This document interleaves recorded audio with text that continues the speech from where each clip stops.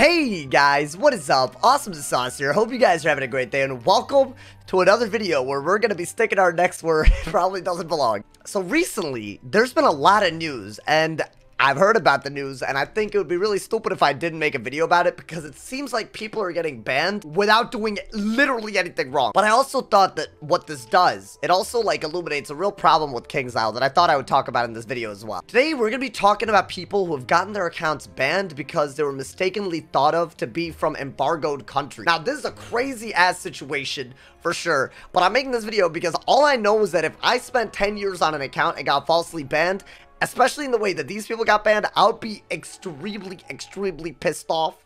And I would hope someone would make a video about it. So without further ado, let's get right into what I think is a very sticky situation. So a few days ago, uh, people who've been, I assume, playing Wiz for a very long time, they got banned and then they received this message from KingsIsle in their email about why they got banned. So I'm gonna read it, uh, and it basically said, we're very sorry that you're disappointed already gonna stop right there. We're sorry that you're disappointed. Come on, who's writing this? I'm a. Come on, man. That's like saying I'm sorry that you're offended. That's like you can't. I'm.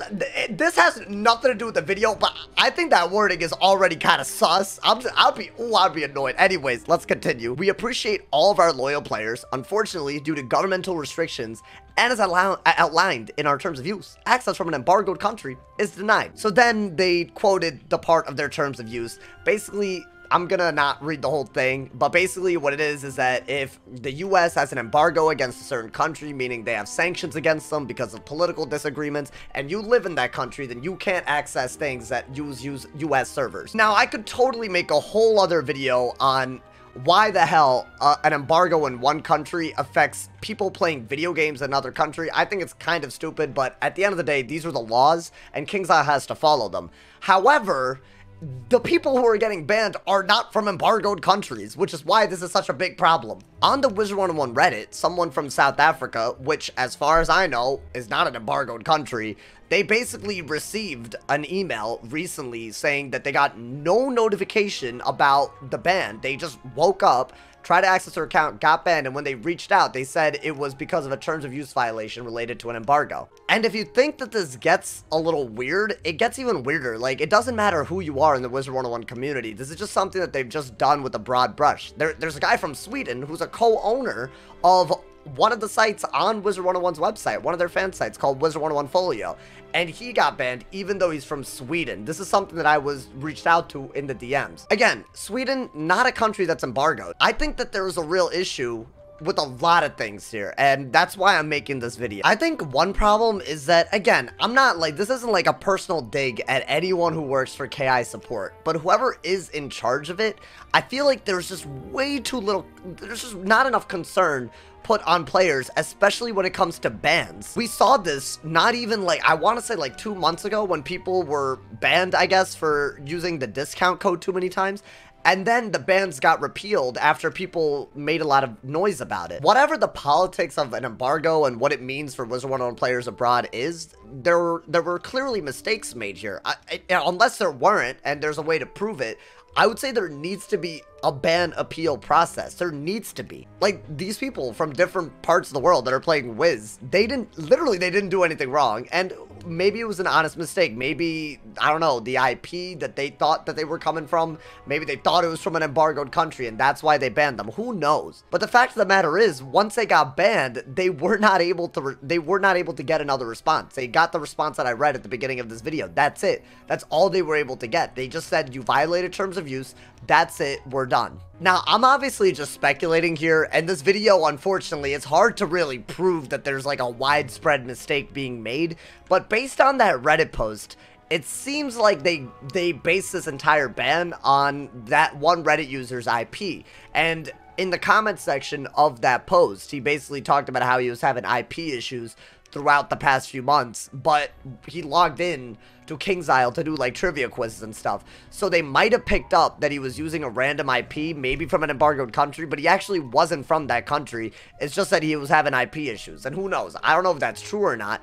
But if that is true, then, then he got falsely banned, and now he can't reach out to KingsIsle over it. Now, there's actually a couple of reasons why I'm making this video. One of them, if, if this was just a mistake I just want to bring some kind of, you know, awareness for it. Maybe to make sure that your IP is not dynamic or moving or changing before logging into KingsIsle.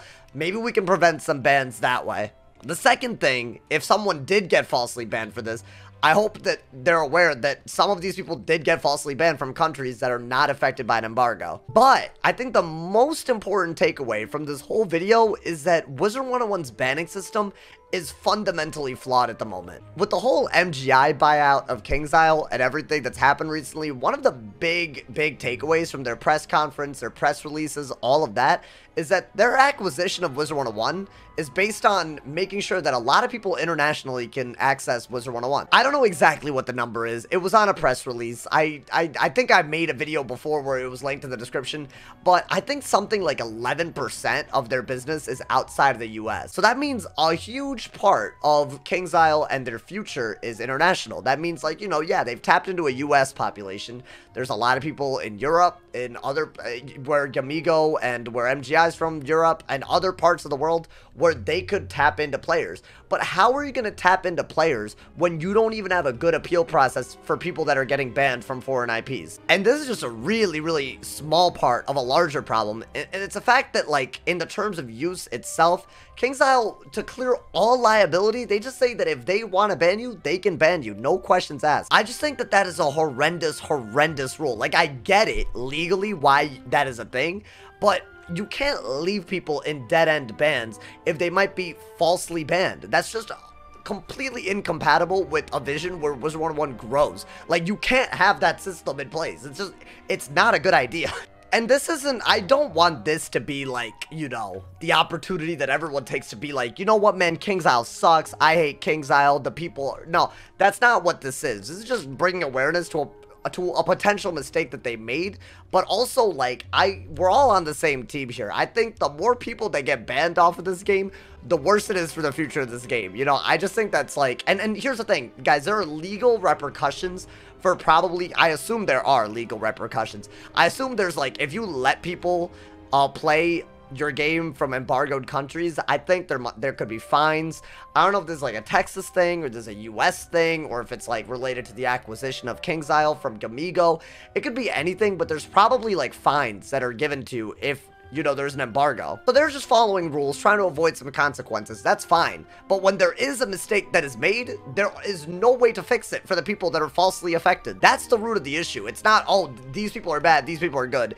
It's just, this is a really messed up situation that needs to get better, especially if there's going to be more and more people internationally that are getting access to this game and they don't have a good appeal process. This is something that I've always wanted. You know, I'm not going to complain about a problem without giving a solution. I just think that they need like a board of people that are involved in ban appeals. And I think some of those people should be community members. I'm not talking about content creators. I'm not talking about YouTubers. Try to pick a representative group of players that have, you know, that, that have some sort of reputation that is like, you know, not awful and have them maybe give people a second chance, especially if they got banned. I know tons of people that would volunteer for it, if they could. If there are some qualifications that they could, I think that they should do that. Especially considering the fact that, you know, bans are pretty, they're, they're, they're, not, they're not temporary, they're very permanent. And considering it over Christmas, what happened to the discount bans, I just think that these kind of things are happening so often.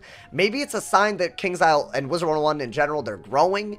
And maybe it's a good problem to have, but this problem needs a solution. But yeah, guys, those are just my two cents. Um, I think the takeaway is if you do use like a VPN or something, don't use it while playing Wiz, just in case the IPs are the reason people are getting banned. I've heard that this affects people in Sweden, Malaysia, the US, and other places, including South Africa, as we saw. So this is like a widespread thing. This isn't just like, you know, a few people. And I hope that KingsIsle, after they fix it, they talk about exactly why it happened so that we actually know. I feel like we also should know what's going on in this decision because it seems like they try to keep it kind of on the DL, which I just don't think is a good strategy ever, because you're just going to have more questions. I have questions. Everyone has questions. But yeah, y'all, let me know. What do you guys think about this whole thing? I thought this was just a weird-ass thing, and I thought I would make a video about it. I don't know if I'm barking up the wrong tree. Maybe I'm wrong completely, and maybe these were all like bans that were supposed to happen, but I feel like there were mistakes made. Drop a like if you enjoyed, leave a sub if you're new, join the discussion in the comment section. There's tons of links in the description, including my Twitch, my Twitter, my Discord, my Instagram, and of course my Patreon. And as always, if somebody has not told you that you're awesome today, they doing something wrong, so stay awesome. And yeah, yeah.